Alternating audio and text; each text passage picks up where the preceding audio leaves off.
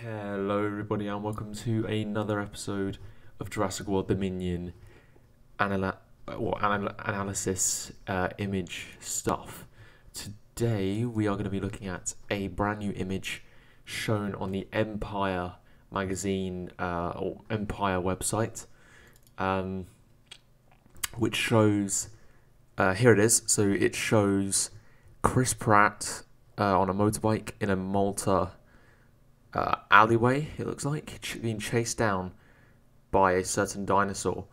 Now, this dinosaur is confirmed to be an Atrociraptor, um, which is the new uh, type of smaller carnivore that we have, as well as some extra stuff, which we're going to get into in a second. Um, so, I guess we should probably read out the uh, description of this scene here. Uh, okay, so we've got uh, so this is what it says on the Empire site. So, elaborating on the image in Empire's new issue, Trevor explains it's a sequence set in Malta, and the, and the picture speaks for itself. It's Chris Pratt being chased by an Atrociraptor, and if they catch up, he's gonna die. I can tell you that. Must go faster. Well, he's not gonna die because he's the main character.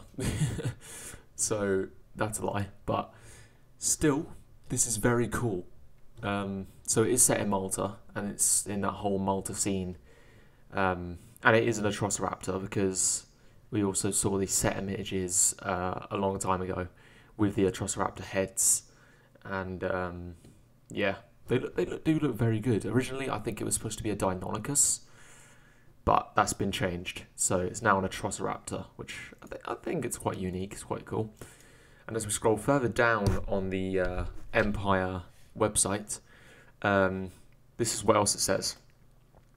If the regular Raptors' smarts were the thing that made them so terrifying, their cousins here have an additional boisterousness that makes them a formidable foe. Where the Velociraptor is a little bit more of a stealth hunter, this the Atrociraptors are a bit more brutish, like Trevor explains. These things will just come at you, and in particular case, they've oh, and this and in this particular case, they've picked his scent, and they're not going to stop until he's dead. They're pretty brutal. They're pretty vicious.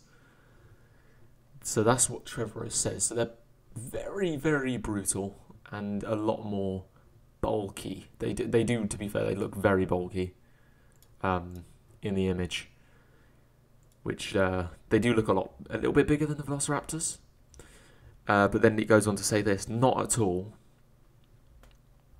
The film will also introduce Pyroraptors among a plethora of other new species, and yes, the director does pick favourites. He said, uh, "I love Pyroraptors. I love the Atrociraptors." She, uh, he says. There's a little one called the Moros intrepidus, which who does not do a ton in the movie, but whenever it shows up, I always love it. So that is also linking back to the um, scene in the prologue we saw for Dominion, uh, where we see the Moros biting a couple bits of meat out of the Giga's teeth before the Giga wakes up. That little feather dino is the Moros intrepidus, and confirming also the Pyroraptor, and I will throw up on screen a picture of the uh, Pyroraptor's design here. It does look very good. Um, so it's cool to have two, three technically small, brand new carnivores to the uh, whole franchise, really. And not even that, there's also Oviraptor as well, which is technically an omnivore. Or, sorry, it, it, the one that eats eggs. It's an egg thief. So there you go. But, um, what do you guys think about this? So, this whole Malta scene, I reckon, is going to take up about probably 20 minutes to half an hour of the movie, I'd say. Or I say 15 to 20 minutes, maybe. Let me know what you guys think of this Atrociraptor um, screenshot that we have. Um, first of all, do you think it's a good screenshot? I do. I think it looks very cool. It looks like a very quick paced scene. I mean, that's why it's so like blurry. It's very quick paced, quick cut scene. So it's literally probably going to be Chris Pratt going around the corner of that doorway that the Atrociraptor's coming through, and then it's going to be um, Chris is obviously going to be going down the stairs, followed by the Atrociraptor that's obviously going to skid and hit the wall maybe, and then follow him down the stairs. I think that's what's happening here. Um, but yeah, guys, so that is everything uh, so far that, uh, has been uh, mentioned. That's brand new.